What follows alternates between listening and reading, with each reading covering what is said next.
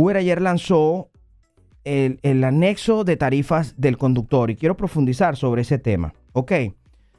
Eh, cuando abres la aplicación de Uber, cuando abres la aplicación de Uber, te aparece esto que dice términos y condiciones. Términos y condiciones. Y básicamente es el anexo de tarifas del conductor. ¿Cómo es eso del anexo de tarifas? O sea, en las políticas de privacidad agregaron estos términos, cambiando la forma en la que se calculan las ganancias. Situaciones como que em, em, si tú vas, por ejemplo, manejando como rideshare y tomas la ruta que no es, y entonces haces más millas, antes tú cobrabas por esas millas, ahora no, ahora te las pueden pagar, pero te las descuentan. Cosas así.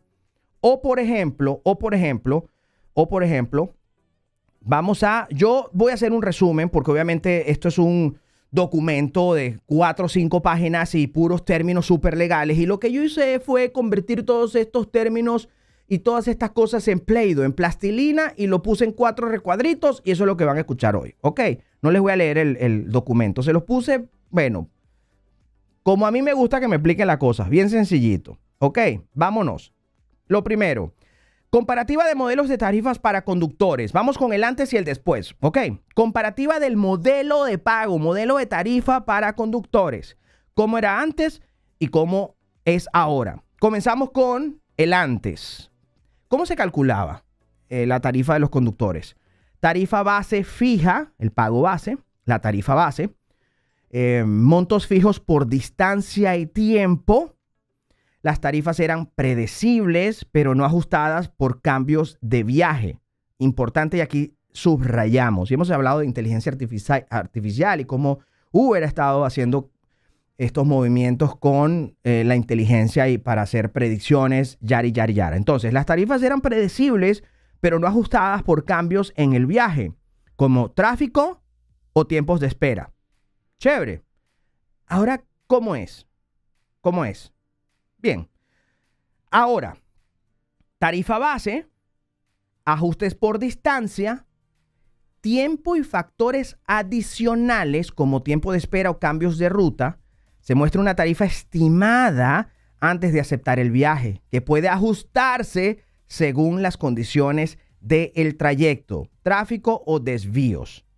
Si lo ven, de aquí se derivan muchas circunstancias, muchas situaciones, muchas situaciones, pero esto es lo base. Ahora, antes te decía 5 y era 5, ahora te dice 5, pero puede ser 3, por poner un ejemplo. ¿Mm? Ahora es flexible. Es flexible. ¿A usted le gusta la flexibilidad o no? Déjenos saber en los comentarios. Déjenos saber en los comentarios. Pero ¿qué más? Tenemos más. A ver. Pero lo a ver, tenemos más, pero del pago, porque creo que es lo más importante. Lo más importante, porque eh, eh, hay muchas cosas actualizadas, pero tema de dinero, money, money, es lo que vamos a abordar acá en este momento. Entonces, a ver, ¿Cuál conviene más? Modelo anterior beneficia a los conductores en viajes largos y predecibles. ¿O cuál conviene más? El modelo actual, más favorable en situaciones con tráfico, espera o alta demanda, ya que ajusta el pago según las condiciones reales del viaje. Este resumen te da una visión clara de cómo se calculan las tarifas y cuál modelo puede ser más ventajoso según la situación. La pregunta entonces es, cuál es tu situación.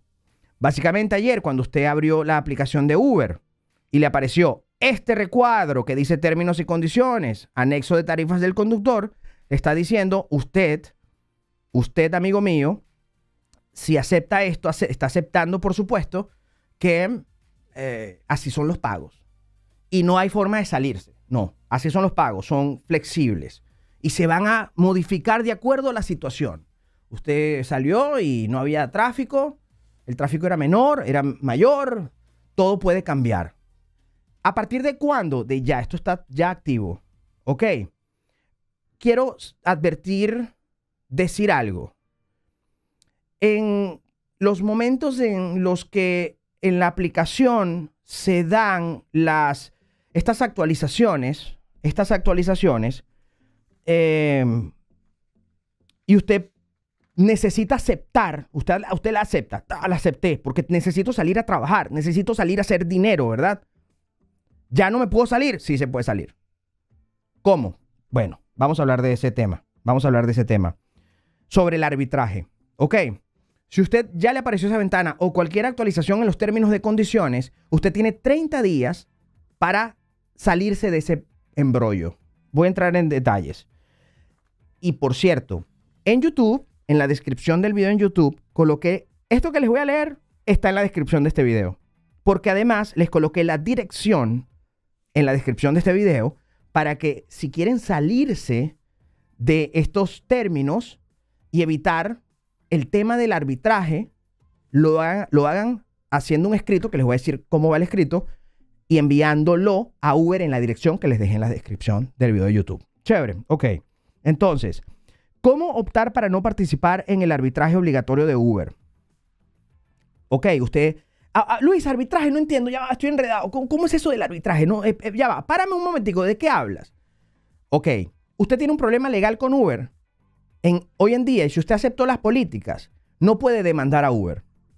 Luis, quiero demandar a Uber. No puedes. ¿Por qué? Porque aceptaste las políticas de arbitraje. Tienes que pasar por un proceso de arbitraje para resolver cualquier situación de índole legal con la compañía. Pero yo los quiero demandar. No puedes.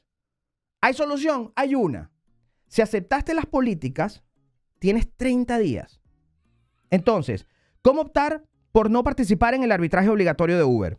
Si no deseas resolver disputas con Uber a través del arbitraje y prefieres tener la opción de llevar tu caso a los tribunales, puedes optar por excluirte del arbitraje obligatorio siguiendo estos pasos. Número uno, revisa los términos de tu acuerdo. Muy importante. Lee detenidamente los términos y condiciones de Uber, busca la sección que hable sobre el arbitraje y la opción de excluirse. Normalmente Uber te da un plazo de 30 días desde que aceptas los términos para que puedas optar por no, por no participar en el arbitraje, ¿ok? Si ya han pasado seis meses, no, no, no vas a poder hacer nada pero vale decir, Uber actualiza sus políticas siempre. Entonces, esas son oportunidades que se te dan para, para enviar el comunicado. ¿Ok? Me aceptaste, me enviaste una actualización que debo aceptar. Bueno, la acepté porque necesito salir a trabajar, pero tengo 30 días para moverme. Prepara tu solicitud por escrito. Deberás enviar una notificación a Uber expresando que deseas excluirte. Deseo. Yo, Luis Berti, deseo excluirme del arbitraje. En esta notificación asegúrate de incluir la siguiente información. Nombre completo, dirección de correo electrónico asociada con tu cuenta Uber, tu número de teléfono registrado en la cuenta de Uber, una declaración que diga deseo excluirme del arbitraje obligatorio de Uber, fecha en que envías la solicitud. Luis, estoy manejando y ya se me olvidó lo que dijiste. En la descripción de este video está este escrito y usted puede copiar y pegar.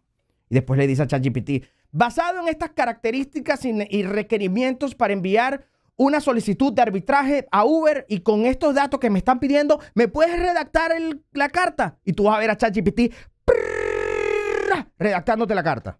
Tecnología, increíble. Enviar la notificación por correo electrónico. A menudo Uber proporciona una dirección de correo electrónico específica para recibir las solicitudes de exclusión. Verifica en los términos cuál es la dirección correcta los términos los, encuentras en tu aplicación, pero pues también puedes hacerlo por correo postal y yo lo recomiendo así. Em, y la dirección es Uber Technologies, yo la coloqué en la descripción del video de YouTube, ¿ok? Váyanse a YouTube. En la descripción del video de YouTube está la dirección Uber Technologies, Legal Department, pero de todas maneras revisen, antes de moverse, revisen los términos y condiciones en su aplicación para ver el tema del arbitraje. Muy importante, ¿ok? Entonces, eh, verifica el plazo, asegúrate de enviar tu solicitud dentro de los 30 días o el plazo que Uber establezca a partir de la fecha que aceptaste los términos. Si te pasas de ese plazo, perderás la oportunidad de excluirte del arbitraje. Y si me excluyo del arbitraje, ¿puedo seguir trabajando? Sí, sí puedes. Em, guarda una copia, siempre guarda la copia. ¿Por qué optar por no participar en el arbitraje? Importante. Optar por no participar en el arbitraje te permite llevar cualquier disputa con Uber a un tribunal público en lugar de resolverla de manera privada a través de un árbitro. Algunas personas prefieren esta opción porque sienten que tienen más transparencia y derechos en los tribunales. Y la experiencia ha dicho que quienes han optado por salirse del arbitraje y se han ido legalmente en contra de estas compañías han obtenido buenos beneficios. Conclusión, es importante actuar rápidamente si decides optar por no aceptar el arbitraje. Al seguir estos pasos, podrás mantener tu derecho a resolver disputas con Uber a través del sistema judicial en lugar de un proceso de arbitraje. Ya lo saben.